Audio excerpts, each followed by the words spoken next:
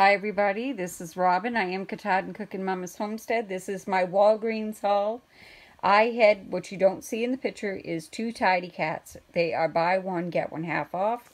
There's my receipt. We need a cat litter in the house. Also, my daughter had surgery, so I got her Motrin and a Walgreens pain reliever. So, there's 30, uh, there is 10 and about 10 there. So it's about $20 with the stuff that you don't see in the picture. Okay, this week, this deal for Secret, Old Spice, and another one, um, they are buy four, get 10,000 points. Okay, um, I do not completely pay. Um, usually with a spend deal, I had spend 20, get back 5,000 points. Um, you would get that, plus you would get the points on these items. But I had used points, and she told me I would not get it, okay? So, you buy four, get 10,000 points. There are buy one, get one free coupons. I did not get them. I used two on this, two on that, two on this, and two on that. So there it is. Two, four, six, eight.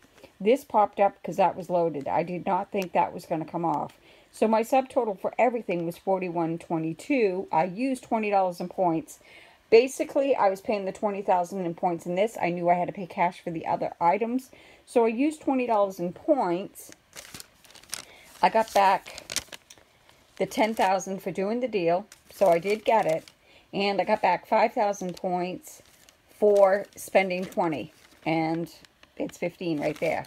Okay? So that means this cost me $5, okay?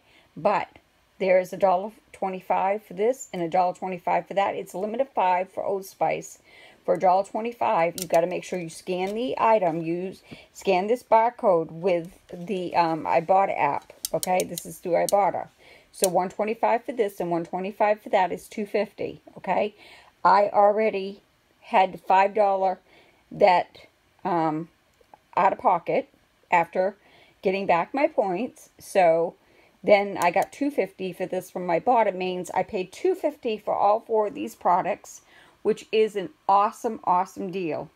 And this is my Walgreens haul. Thanks for watching and have a great and blessed day. If you want to join my team, I will post in the show more notes below. You will get back $20 for submitting your first qualifying receipt. You can cash out at 20 so you have to get your items to $20. You'll get the extra 20 for joining my team, plus you'll get the apps for every time you buy. But make sure when you load coupons to your card, if you go to Walmart, Walgreens, or any store, you load the coupons before you go shopping, and then make sure you scanned the barcode in, in the store. Bring up the Ibotta app and scan it. Make sure it's the right item.